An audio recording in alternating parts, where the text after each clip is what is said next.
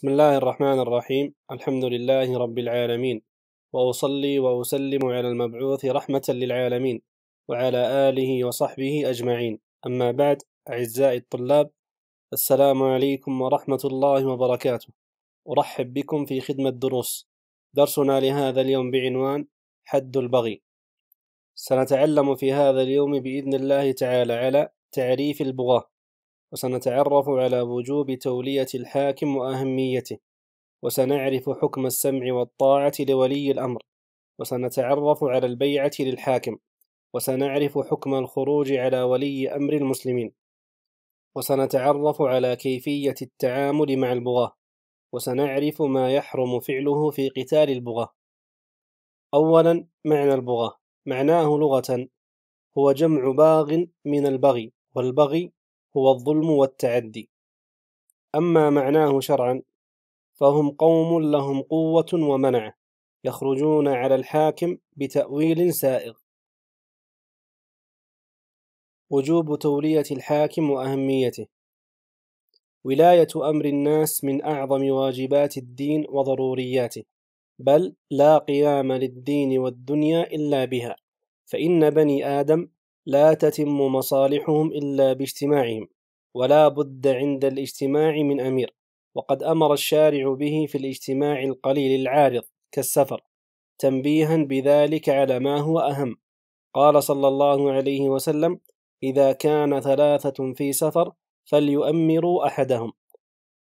ولأن الله أوجب الأمر بالمعروف والنهي عن المنكر والجهاد في سبيل الله والعدل ونصرة المظلوم وإقامة الحدود ولا يتم ذلك إلا بالقوة والإمارة.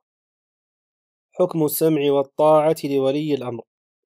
تجب طاعة ولاة الأمر في المعروف. والدليل؟ قال تعالى يا أيها الذين آمنوا أطيعوا الله وأطيعوا الرسول وأولي الأمر منكم. وقال صلى الله عليه وسلم من أطاعني فقد أطاع الله ومن عصاني فقد عصى الله ومن يطع الأمير فقد أطاعني ومن يعص الأمير فقد عصاني. وشرط الطاعة ألا تكون في معصية الله فإن أمر بمعصية فلا سمع ولا طاعة. وقال صلى الله عليه وسلم على المرء المسلم السمع والطاعة فيما أحب وكره إلا أن يؤمر بمعصية. فإن أمر بمعصية فلا سمع ولا طاعة. والسمع والطاعة لولاة الأمر في غير معصية الله مجمع على وجوبه عند أهل السنة والجماعة وأصل من أصولهم التي فارقوا بها أهل الأهواء والبدع. البيعة للحاكم. إذا تمت البيعة للحاكم بأن بايعه أهل الحل والعقد ثبتت ولايته ووجبت طاعته ويكفي بقية الرعية أن يعتقدوا دخولهم تحت طاعة الحاكم وأن يسمعوا ويطيعوا فمن مات وليس في عنقه بيعة مات ميتة جاهلية.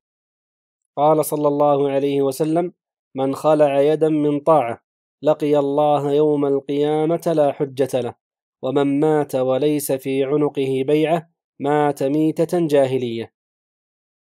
ننتقل بعد ذلك إلى حكم الخروج على ولي أمر المسلمين. لا يجوز الخروج على ولي الأمر ولا نزع يد من طاعته ولو جار وظلم وإنما الواجب على المسلم أن يكره ظلمه ومعصيته ويصبر عليه ويناصحه ويجب على أهل العلم والفضل والاجتهاد مناصحته سرا من غير إثارة فتنة أو تحريض عليه. قال صلى الله عليه وسلم خيار أئمتكم الذين تحبونهم ويحبونكم وتصلون عليهم ويصلون عليكم وشرار أئمتكم الذين تبغضونهم ويبغضونكم وتلعنونهم ويلعنونكم.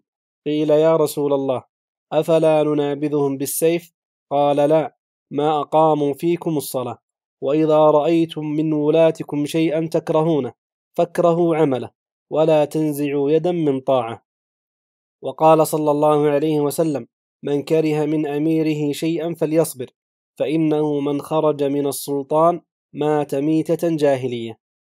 ولذا أمر صلى الله عليه وسلم الأنصار رضي الله عنهم بالصبر لما أخبرهم أن الأمراء سيستأثرون عليهم ويمنعونهم حقوقهم.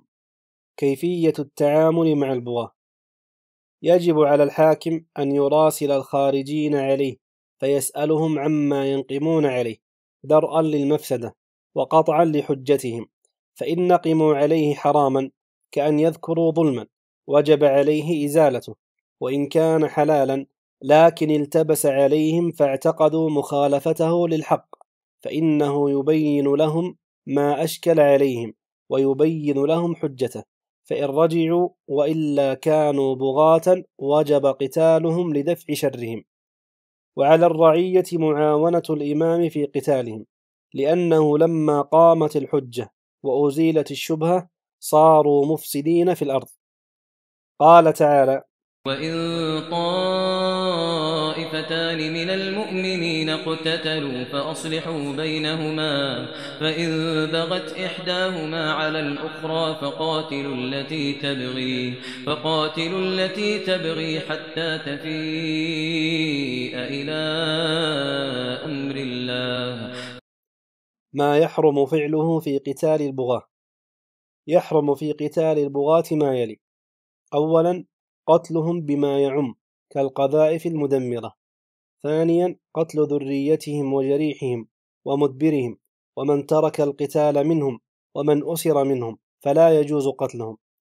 ثالثا غنيمة أموالهم لبقاء ملكهم عليها.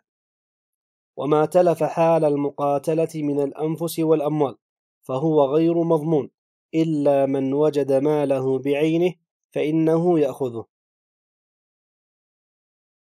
فائدة قتال البغاة يختلف عن بقية الحدود من حيث إنه لا يعد عقوبة بالمعنى المألوف للعقوبة التي توقع على الأفراد وإنما هو من باب دفع الصائل فيعمل الإمام على دفع شرهم بالأسهل فالأسهل فمتى اندفع شرهم بالموعظة لم يجز قتالهم.